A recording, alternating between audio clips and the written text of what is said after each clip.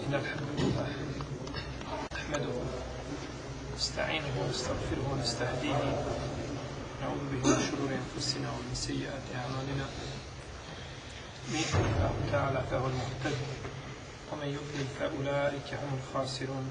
وأشهد أن لا إله إلا الله وحده لا شريك له وأشهد أن محمدا عبده ونبيه ورسوله وصفيه من خلقه وخليله. أدى الأمانة وبلغ الرسالة ونصح للأمة وكشف الله تعالى به الأمة وجاهد في الله حق جهاده حتى أتاه اليقين. أما بعد فإن أصدق الكلام كلام الله تعالى وخير الهدي هدي محمد صلى الله عليه وسلم وشر الأمور محدثاتها وكل محدثة بدعة وكل بدعة ضلالة وكل ضلالة في النار ثم أما بعد.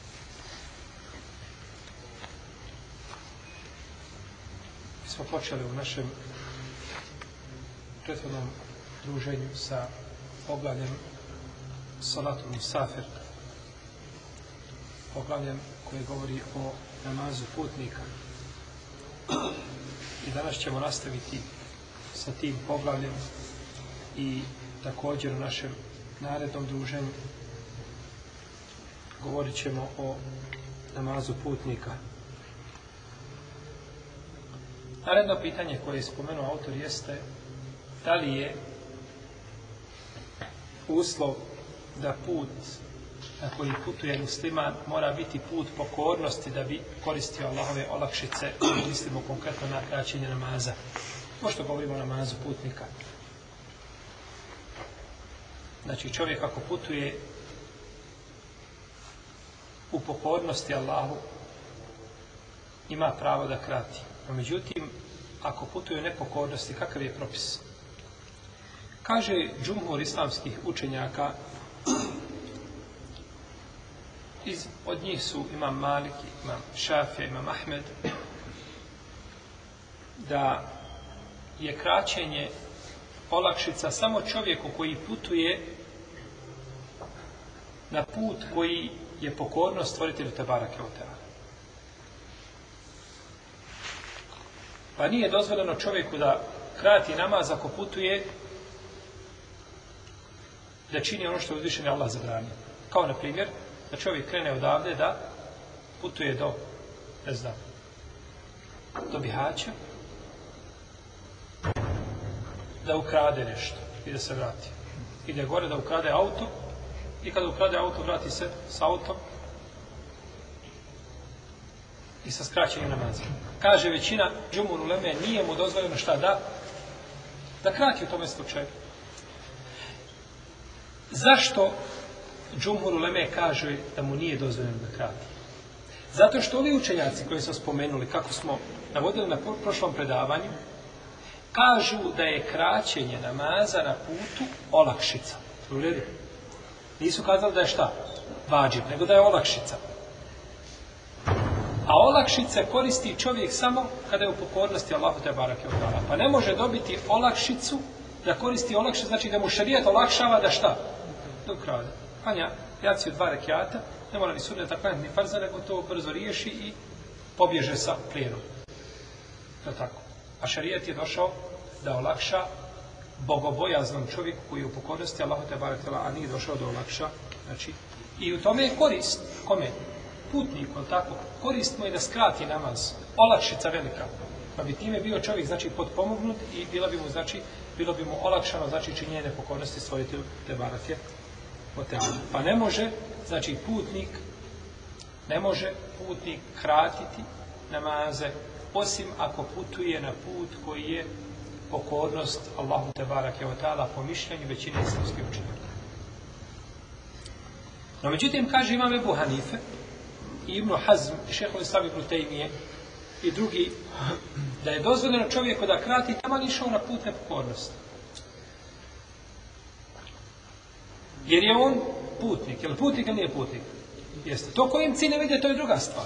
No, međutim, da li je kraćenje namaza vezano za put ili za nijet nekakav, ili za vrstu puta? Vezano je za put. Kakav god put da bio, bilo avionom, bilo autom, bilo na devi, bilo po kišu, snijeg, bitno je da je šta? Da je put. Pa kaže imam Ebu Hanife, u ovom je slučaju on krati. I zašto još ovi učenjaci kažu da on krati namaz? Molim? Zato što ima važno. Da, bravo. Zato što je kraćenje namaza po ovim učenjacima odabrali su da je to obaveza. Pa ta obaveza ne spada, ona je obaveza za njega bio čovjek na putu pokoran ili nepokoran, ona je obaveza za njega da šta? Da krati namaz, kao što je obaveza čovjeku u mjestu boravka, koji je nepokoran da šta uradi? Da upotpuni četiri rakijata. Jel u redu? Znači, isti su. Isti su, znači obaveza jednom i drugom ista jer ga, znači šarijet ga obavezuje time. I ovo je jedno mišljenje kod malikijskih učenjaka. Znači da će svakako, da će svakako kratiti. Jer sjećate se predaje Ajše i Ibn Abbasa s prošlog predavanja, propisan je na nama, e, namaz na putu dva po dva, pa je tako ostalo na putu, a dodano je na u mjestu boravka. Pa propisan je namaz na putu koliko? Dva po dva. Pa je osnova, znači po ovome mišljenju, da je namaz na putu tako propisan. Nije šta. Znači da se ne radi o čemu. O, o, radi se o skraćivanju kada ga gledamo sa aspekta da na mjesto boravka klanja koliko? Četiri rekata. protivnom, on je propisan kako? Propisan je dva rekata na putu. Pa kaže ovaj učenjac, on ima pravo, ima pravo da krati. Znači, ovo je vidno razilaženje među islamskim pravnicima, Allahu Teala Alem, da je ovdje mišljenje Ebu Hanife, Ibn Hazma i Šehu Islama Ibn Taymiye da je jače. Da je jače, da ima jače argumente i da su, znači, hadisi poslanika, sa osnovno nisu napravili razliku među čovjek koji putuje na ovakav i na onakav put. A međutim, kažem, pitanje je predmet razilaženja među našim učenjacima. Od kada musafir počinje da krati namaz? Od kada musafir počinje da krati namaz? Složni su islamski učenjaci, kako spominje Ibn Munzir, Ibn Kudame i drugi, da čovjek može kratiti namaz nakon što ostavi građevine svoga mjesta iza svojih leđa. Znači, kuće, stambene objekte koji su gdje živi, gdje ostaje iza svojih leđa, odatle počinje šta? kraćenje. Odatle počinje kraćenje. Znači da ostavi kući svoga mjesta i za svojih leđa. Tu nema razraženja među islamskim učenjacima. No, međutim, sporit se da li je dozvoljeno prije toga. Čovjek želi putovat u jedan sahat. Izgoda mu da kod kuće klanja podne i kikindiju. Da li može u tom slučaju klanjati kindiju kući ili ne može? Predmet je razilaženja među islamskim učenjacima. Ispravnije mišljenje je da ne može dok ne iziđe iz svoga mjesta. Dok ne iziđe šta iz svoga mjesta. To je ispravnije mišljenje. Allahu Teala Alem, to je mišljenje imama četiri pravne škole. Ebu Hanife, Malka, Šafije, imama Ahmeda. Znači, svi kažu da mora izići, da mora napustiti, znači, mjesto svoga boravka. Dokaz tome je hadis koga bilježe Buharija i Muslim, Od Enesa ibn Malika da je rekao, klanjao sam sa poslanikom, sallallahu alaihi sallam, četiri rekiata u Medini, a klanjao sam dva rekiata na Dhul Huleifi. A Dhul Huleifa od Medine je tri mile. Pa je znači klanjao poslanik, sallallahu alaihi sallam, u Medini, a na Dhul Huleifi je kratio. Znači da je bio putnik, pa ga je mogao odmah spojiti gdje? Iskratiti podne i spojiti, no međutim, nije to poslanik, sallallahu alaihi sallam, učinio. Pa iz ovoga možemo zaključiti da je da je poslanik sa osam kratio tek nakon što iziđe van čega? Medine, jeste. Jer u vrijeme poslanika sa osam Medina nije bilo ove obliku. Bila je puno manja. Oko džamije, gradić mali bio. To bi bilo u odnosu na sada na Medine jedna mala čaršija, jedan mali dio Medine. Pa kada je izišao do Zulhuleife, to je već bilo. Dok se danas, znači građine sve se proteže do Zulhuleife. Našao sam kod Ibnu Batala o njegovom dijelu, o njegovom komentaru na Buharin Sahih, u trećem tomu na 82. strani, da kaže složni su fakihi iz svih predijela da mu safir neće kratiti namaz dok ne napusti, a znači ili dok ne pređe, dok ne ostavi objekte stanovanja ili objekte, znači ima ljudi borave iza svojih leđa, objekte svoga mjesta. On spominje konsensus. Međutim, Postoji pak razilaženje. Nije svaki konsensus koji je spomenut stvarni konsensus. Nekad ulema spomene konsensus, ali u stvari postoji šta? Postoji razilaženje. Pa ispravno da ovdje postoji razilaženje, no međutim, no međutim, ovaj, kažemo, mislim da ta većina učenjaka smatra čovjek mora izaći. Čovjek mora izaći. Da ostavi građevine iza svojih leđa. U fikskim knjigama, sjećam se da učenjaci kada raspravljaju o tome koliko, a, šta se sve mora ostaviti za leđa. Ako se ostave neki napušteni objekti, šta je onda? Imate, znači, kuće, imate jedan dio napušteni objekata. Znači, da li se kod tih napuštenih objekata može krati? Kao recimo mi danas imamo hale, ove radne, gdje ljudi borave preko dana, preko noći je to napušteno, nikoga nema, niko to ne stanuje. Da li se mora i to preći, ili se može već, ili dobro nastaviti samo objekte, striktno stambene objekte. I oko toga, znači, raspravljaju čak i taj detalj, nisu ostali da ga nisu, znači, pojašnjavali i o njemu pričali, pa, ili, ili a, mjesto gdje boravi vojska, jedno vrijeme pa se vraća, nije stalno, znači mjesto čega? Da li i to mora? Mi danas imamo sigurno, znači, takvi objekata koji mogu biti, koji mogu biti poput radnih, radnih mjesta i slično tome, koji mogu biti, znači, a, predmet onoga o čemu su razgovarali samski učenjaci u davna, u davna vremena. U svakom slučaju pravilo je kod je da ostavi, znači, kuće u kojima ljudi borave iza svojih, iza svojih leđa.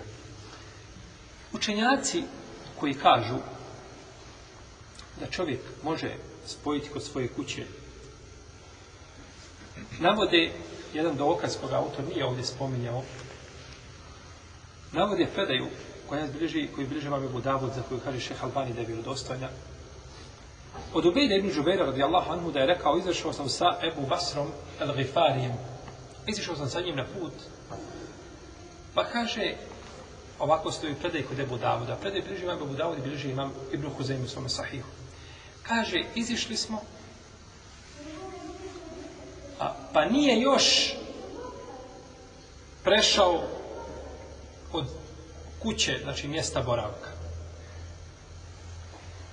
Pa mi je rekao, daj mi sofru. Sufra u arapskom je kod nas sofra, tako, to je isto, to je jedne, mi koristimo arapski izraz. Pa mu je rekao, nestete al bujut, kaže, zar ne vidiš kuće, pa ni, kaže, etergabu an sunneti Rasulillahi sallallahu alaihi wa sallam. Kaže, zar ćeš ostaviti sunnet poslanika sallallahu alaihi wa sallam? Tražio je da šta? Da prekine post. Kod Ebu Davuda se kaže da je bio, to, da je bio u Ramazanu. Kada ne bio Ramazan, ne bi bilo čega. Ne bi bilo tu uh, nikakvog, nikakve nejasnoće, jer svakako može prekinuti post. Međutim, pitanje Ramazana. Pa je krenuo i nije izišao van mjesta boravka, traži šta? Traži sofr, traži ručak. Pa mu kaže ovaj, pa nisi još izišao, kaže, zar ćeš ostaviti sunet poslanika, kaže Ebu Basad od Fari, koji je bio šta? Hasan. I ova predaje vjerodostojna. I ona je kočnica sada. Jer on kaže ovdje, zar ćeš ostaviti čiji sunet? Poslanika, pa je to hadis koji se veže za koga? Za poslanika, sallallahu sallam. I on je, i on je, s jedne strane, ili sa jednog aspekta, u koliziji sa predajom Enesa, koji kaže, klanili smo u Medini podne četiri rekiata, a na Zulher Hulejfe dva rekiata i Kindija. Pa šta je sada ovdje po svijetu? Ispravno je da su riječi ovoga Ubejda ibn Đubeira kada je rekao nije još izišao da je on mislio nisi se još odmakao negdje tamo daleko. Šta je dokaz za to? Isti hadis. Ista predaja. Koje kaže, zar ne vidiš kuće? Ha. Hoće li kazati, zar ne vidiš kuće, a on između kuća? Pa svako, jasno je da vidiš kuće. To, to se ne govori. Da kaže, pa dobro, zar ne vidiš kuće? Znači, evo i za tvojih leđa tu su blizu. Kažu, kaže šta? E targa bon sunnet Rasulullah sallallahu Zar ćeš ostaviti sunnet koga? Poslanika. Pa iz iste predaje zaključujemo da je on bio izišao, no međutim riječi ovoga nije izišao, misli se šta nije, nije nešto posebno odmah kao nego je bio tu blizu, a to nema veze. Znači, iz iste predaje zaključujemo da takve način možemo pomiriti sa ovaj postupkom Enesa ibn Malika, koga kreni od poslanika sa osrem, i sa postupkom Alije, koga prenosi Buhari u svom sahihu na isti način, i možemo pomiriti na kraju sa konsensom koga je spomenuo ko? Ibn Battal, u svome komentaru da Buhari i Sahih. Pa mi na takav način znači, uskladili značenja ovih predaja i ispravno je da čovjek krati namaz tek kada iziđe znači, iz mjesta boravka. To je danas, Allahu alem, u mnogo slučajeva biva ona tabla gdje ime grada piše Tuzla pa je precrtana. Tu negdje ili možda poslije toga, to je tu negdje. Pa se razlikuje ovo čovjeka koji živi u jednoj maloj čarši i čovjeka koji živi u Velegradu. Čovjek živi u Kajru. I samo u jednoj četvrti imaš par miliona ljudi. Na Kajru ima 20 miliona ili možda malo manje od toga. I čovjek sada putuje s jednog dijela na drugi dio grada. Sve je to šta? To je njegov, to je njegov mjesto bar. Njegov mjesto bar Kajru. I on želi da putuje. Ponekad taj izlazak ga košta više nego drugog čovjeka koji dođe na odredište. Kad je gužva, još kad se semafori tamo ovaj, nisu upaljeni kako treba, ne funkcionišu, onda čovjek treba možda dva, tri sahta da iziđe šta iz grada. No, međutim, ne može početi sa olakštom dok ne napusti. Nema veze što toliko puta. Jesmo li učinili nepravdu onome ko živi u velikom gradu? A to je cijena luksuza. A tako, pa će živjeti u velikom gradu, gdje je sve pod rukom, to je cijena luksuza. I seli se manju čaršiju. Tako znači da se razlika od čega od grada do i sve što je znači obuhvaćeno time smatra se tim, tim mjestom. Tim mjestom.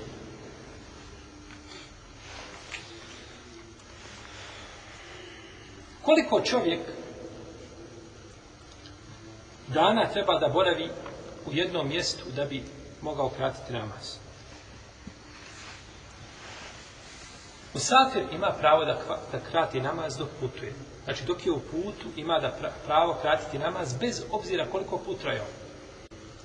Dan, dva, tri, pet, deset mjesec nije bitno. Znači, on će cijelo vrijeme šta? Kratiti namaz koristeći tu olakšicu. No, međutim, kada dođe u mjesto u koje je namjeravao doći, ili imamo njega, pa odsjedne tu jedno vrijeme, koliki je taj period u kome smije kratiti namaz? To je pitanje o koga se razilaze islamski učenjaci.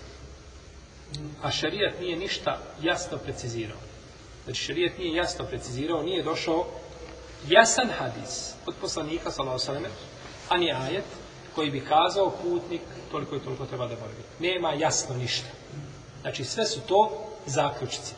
Stoga se Olema po ome pitanju razišla na 11 različitih mišljenja.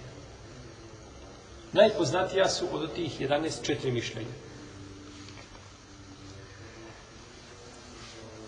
Prvo je mišljenje, ako čovjek nije ti da boravi u jednom mjestu više od četiri dana, da će izgubiti znači pravo na kraćenje namaza. Čovjek ako planira da boravi u jednom mjestu više od četiri dana, neće krati namaza. I to je mezheb džumhura, mezheb većine islamskih učenjaka od Malikija i Šafija i Hanbelija. Kažu čovjek koji je planira da boravi više od četiri dana, neće kratiti namaz.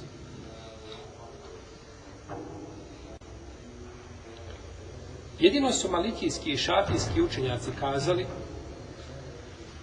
četiri dana, ali neće računati dan ulaska i dan izlaska.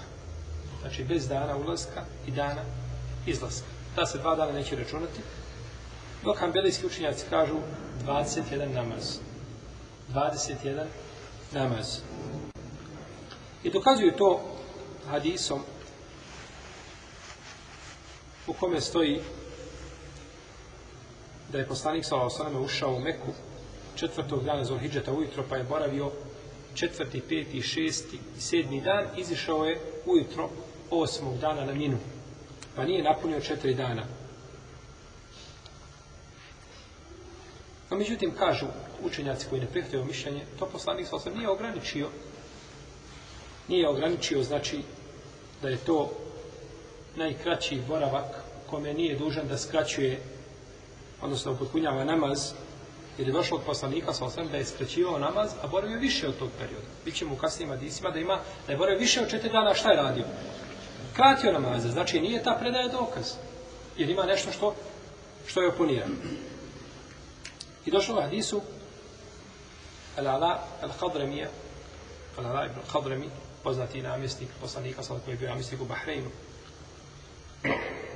kaže za njega imam Zehebi u Sijeru i prije toga spomenuo i Busadu dijelu Tabakatul Kubra, da je prešao more sa vojskom na konjima. Znači, cijelo more je pregazio konjem. Kaže se da je jahao po moru kao po pustinji kada malo ovaj, pokosi kiša pustinski pjesak, da je tako jahao po moru, znači i prešao more. Kaže da je, rekao, čuo sam poslanika sa osreme da kaže muhađir će boraviti u Meki nakon obreda tri dana. Muhađir koji je izišao u Hidžru iz Mekke u Medinu prije oslobođenja Mekke, boravi u Mekki nakon obreda samo tri dana. Kažu ovi učenjaci, i ovo je dokaz da boravkom tri dana čovjek ne biva domaći, nego biva šta? Musafir. Jer muhađirima nije dozvoljeno da se vrate gdje? U Meku i da u njoj borave. Pa kaže, tri dana im je dozvolio. Znači, ako boravili četiri puna, bili bi šta? Domaći, više ne bili putnici. No, međutim, problema koja ne prihvata, ovo kažu, poslanik sponsorame, je time htio samo da ukaže muhađirima koliko smije ostati u Mekke. A nije govorio, znači, i nije ničim ukazao da je ovaj ostanak vezan za što? Za skraćivanje, za neskraćivanje, za putnika, nego vezan za muhađira. I kažu, putniku je dozvoljeno da ostane više od tri dana, a muhađiru nije. Kako onda možete činiti analogiju muhađira na putnika? Pa kažu, ne može biti dokaz.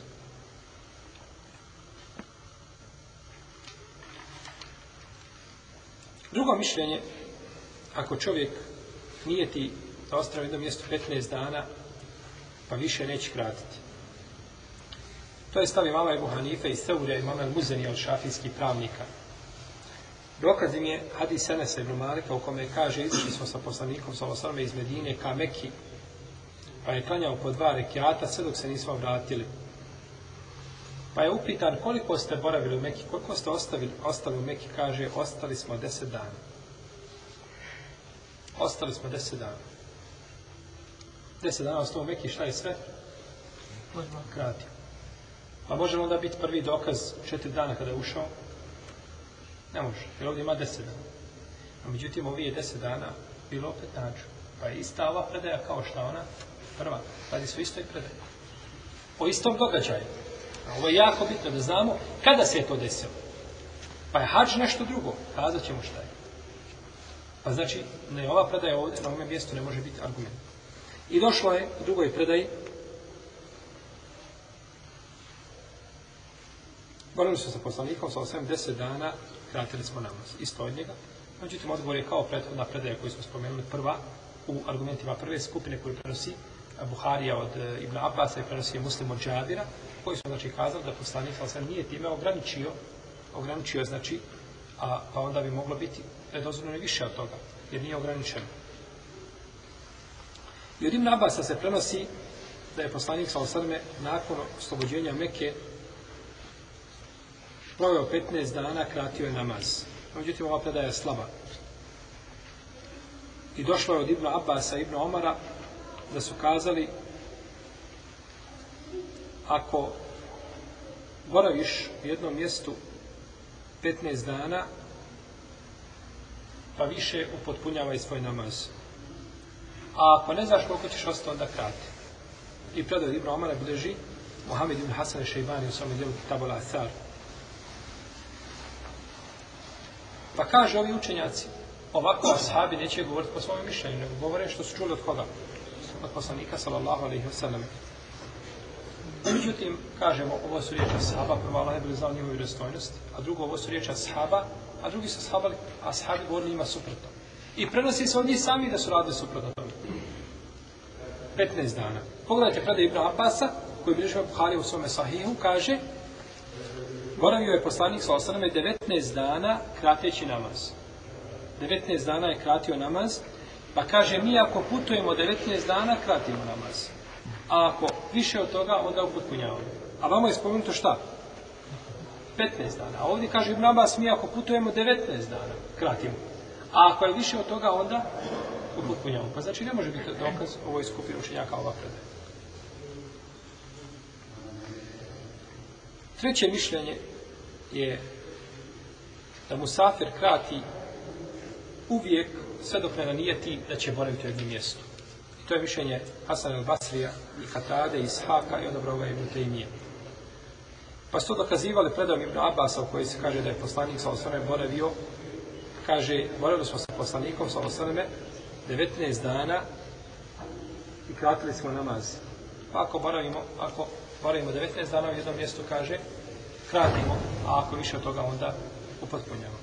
I dokazuje to predajom Džabira, koji bilježiva Mahmed i Ebu Davud sa vjerodostojnim lancem prenosilaca, da je poslanik sa osrme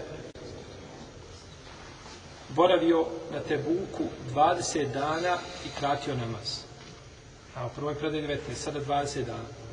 I došlo je u predaju da je Imrana Ibn Husajna da je rekao bio sam sa poslanikom sa osrme u bitci i to je bilo oslobođenje Mekke. Pa je boravio u Mekke 18 dana i noći klanjao je po dva rekiata. I govorio je osnovnici Mekke opotpunite svoj namaz, mi smo putnici. Ali ova predaja ova je predaja vdaju kažu ovi učenjaci Katade i šeho Salim Temi i prije toga Hasan al-Basri i Ishaq kažu pogledajte ovdje jednom 19, jednom 20, jednom 18 pa to, kažu to nije određeno šarijetom nego sve dok si putnik kratiš sve dok si putnik kratiš.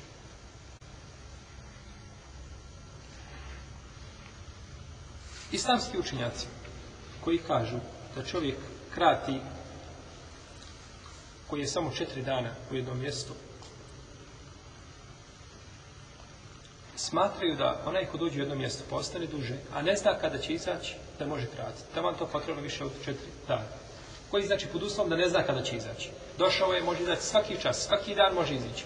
i postoji mogućnost da svaki dan iziđe, no međutim ne zna koliko će to traje, može, jer se prenosi od Ibn Omara, da je bio u Azerbejdžanu šest mjeseci, da ga je zaustavio snijeg, da nije mogao izaći, da je kratio namaz, to je bilježi imam Bejhek, imam Ahmed, i kaže šeh Albani u svom videu, ali Ruvada je predaj vjerodostojan. I prenosi Hasan al-Basri od Anasa Ibn Malika, da je boravio u Nisaburu dvije ili godinu dana, da je kratio namaz i klanjao po dva rekiata, ali nije spajao, ali nije spajao.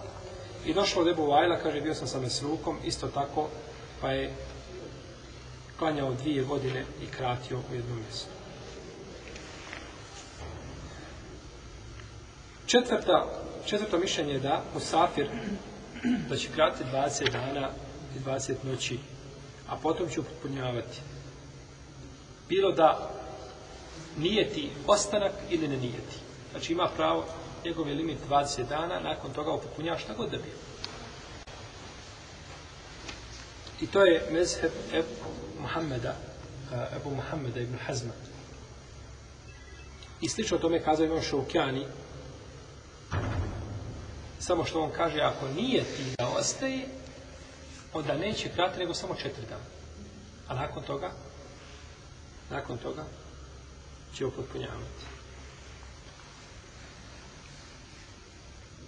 A ako ne zna kada će, onda klanja 20 dana. Ovi učenjaci su uzeli obzir dvije stvari, a to je da ovdje nema ibrata da nije ti šikamet, odnosno boravak u jednom mjestu. Kažu, jer nijet nema s ovim veze. Nijet nema s ovim veze, čovjek ne mora nijetiti put da bi mogao šta krati namaz. Ne mora imati nijet puta. Može izaći samo dok iziđe, znači dovoljno je da krati, ne mora nijetiti put, jer nijet nije potreban za mubah. Nijet nije neophodan zašto za mubah, nego za ono što je Allah naredio. A putovanje je šta? Mubah, dozvoljena stvar. Pa zato ne treba nijet. Zato ne treba nijet. I za sredstva ne treba nijet. Ne treba ti nijet da obučeš košulju s nijetom da bi pokrio stidno mjesto da možeš klanjati. Da tako? Kako čovjek obukao košulju, pokrio stidno mjesto ili kaput odjeću, nije bitno. I klanjao, nije nijetio pokrivanje stidnog mjesta, ali isprava namaz. Jeste. Jer to pokrivanje nije ciljano šta samo? Nije ciljano, nego je to sredstvo za upotpunjavanje i badeta. Isto tako, druga znači sredstva, za razliku recimo od abdesta samo koji je ibadet sam posebno. Kod većine je islamski učenja.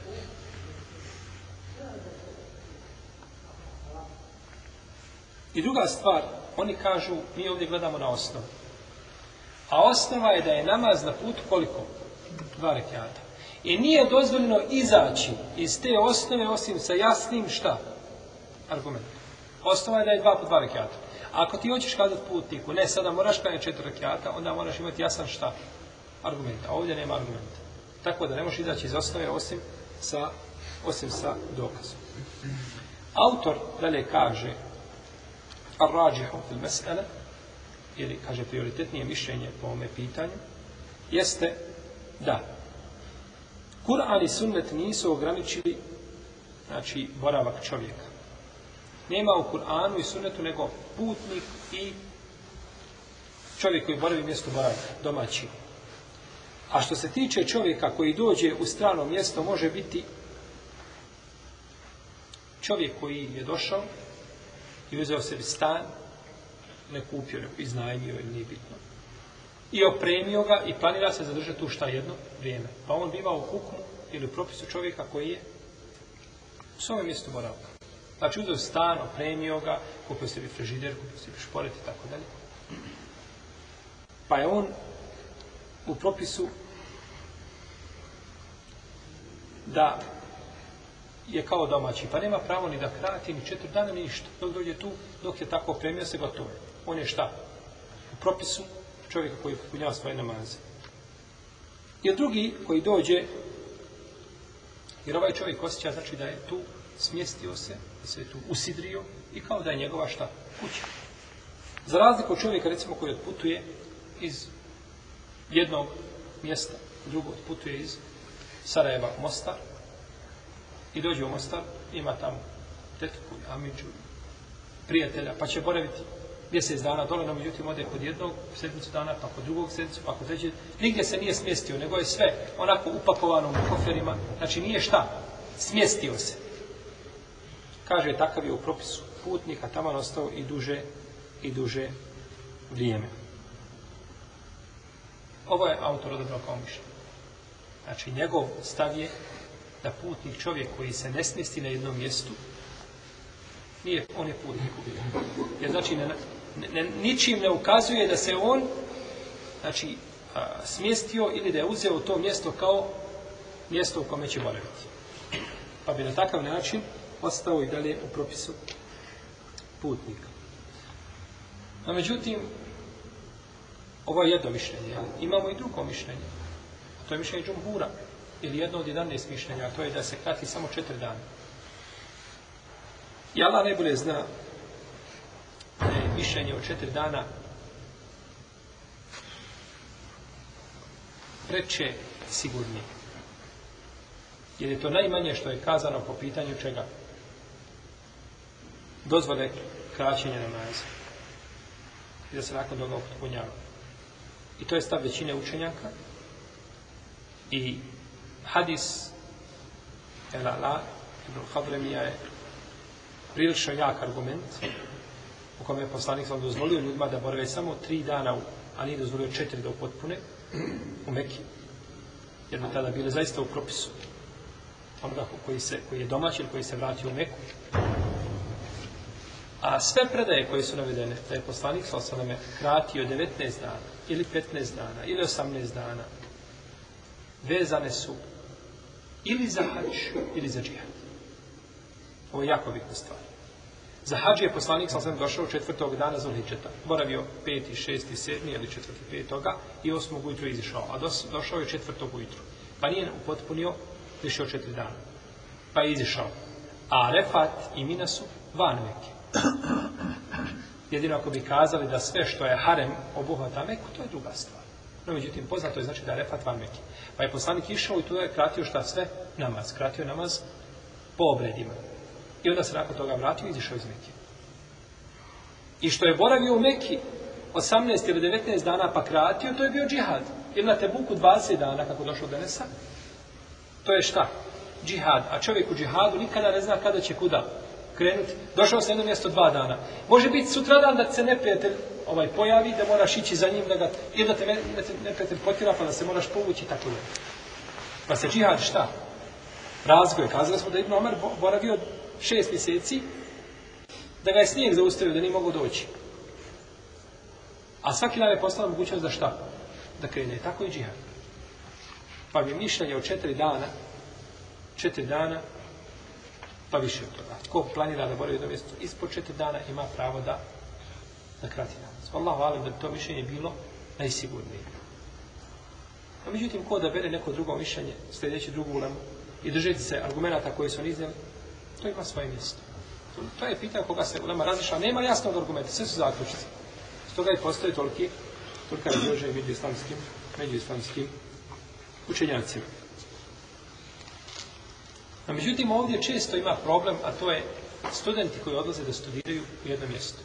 Pa imamo studenta dođe da studira u Egipat iz Malezije, iz drugih zemalja i cijelo vrijeme studiranja krati. I to se dešava često. I to je pogrešno. Jer ti dok si došao to, čak i po mišljenju ovome drugom, ti si došao, imaš znači stan koga si izdajmio, imaš u tom stanu namještaj, imaš svoju odjeću, imaš, možda si s Hanumu sa sobom doveo tu i opet čovjek pored toga krati. To je pogrešno. Čak i učinjacima koji su dozvolili, kao šehr sami Mutejni, Ibn Hazmi i drugi, ne kažu znači na takav način. Nego ti si to zaista uzeo svojim znači mjestom boravka i koliko je nakon toga ovaj posao našao u tim mjestima ostao da živi. Nisam nikad, koliko je naših studenta ode odavde u Beč ili negdje na sjever ili na jug studira nakon toga ostane gore, zaposli se, a prije s toga trati. A još za vrijeme sami studija ti si to uzeo svojim mjestom boravka. Jer ne zamislimo da čovjek živi tu i znaš da se tu pravi četiri do pet godina i da to ne smatraš trenutnim mjestom boravka. U protivnom, ko ti može garantovati da ćeš ti ostati u Sarajevu da živiš, iako si rođen u njemu, da ćeš ostati da živiš na narednih pet godina? Možeš ti sam garantovati. Kako se počele ove cijene, možda ćemo morati svi bježati negdje planine dole da živimo.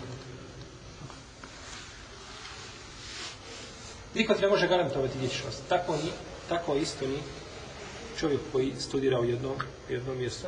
Pogrešno da ode čovjek da studira ili da radi u jednom mjestu i tamo se smijesti i nakon toga kaže ja sam ovdje, ja se osjećam putnik.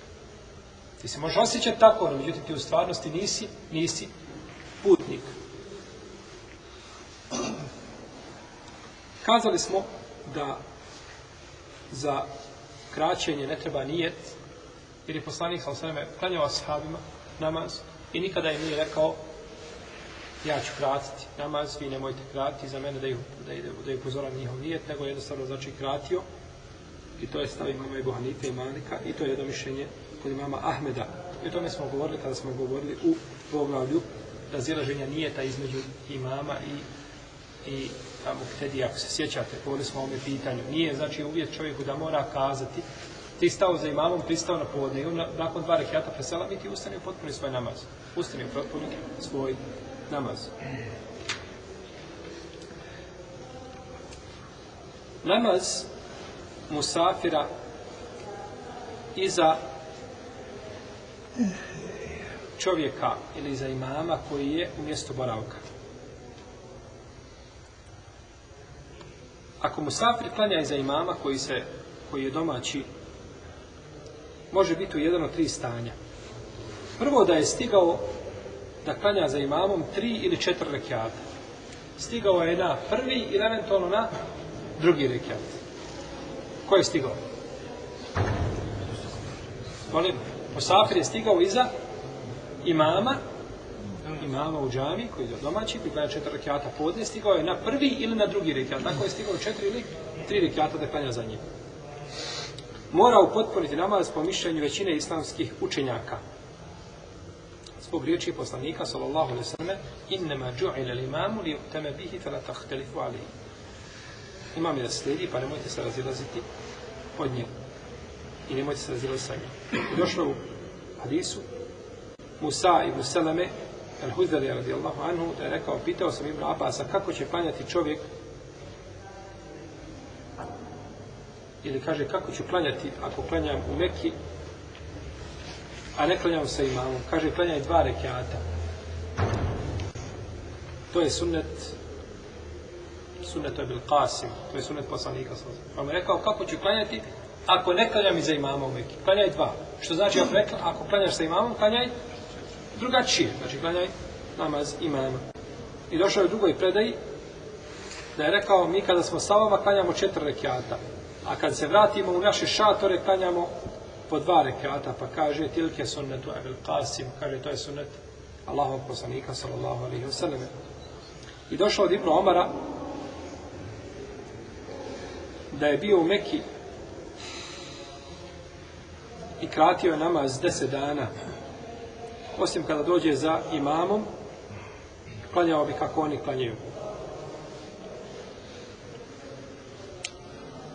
a u drugoj predaj klanjao bi za imamom kako klanja imam a kada bi klanjao sam klanjao bi četiri rekiata to je prvi slučaj znači da stigneš za imamom kao putnik na prvi da stigneš ili na drugi rekiat četvoro rekiatnog namaza Drugo, drugi, drugo, drugo stanje, drugi hal u kome se može naći ovdje, putnik, jeste da stigne za imamom dva ili jedan rekiat. Znači stigneš na treći ili na četvrti. Stigao se na treći ili na četvrti, pa stigao za njim jedan ili dva rekiata da klanjaš.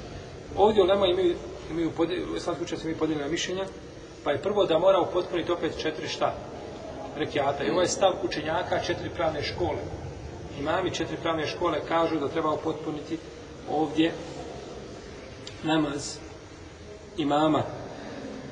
I to je stav Ibn Omara, Ibn Abbasa iz skupine Tabijina. I to dokazuju prethodnim predajama koje sam spominjao. I to dokazuje idem isto tako predajom Ebu Mučlizija, Ebu Mučliza, e, kaže, rekao sam Ibn Omaru, ako ljudi kanjaju ili ako stignem na namaz,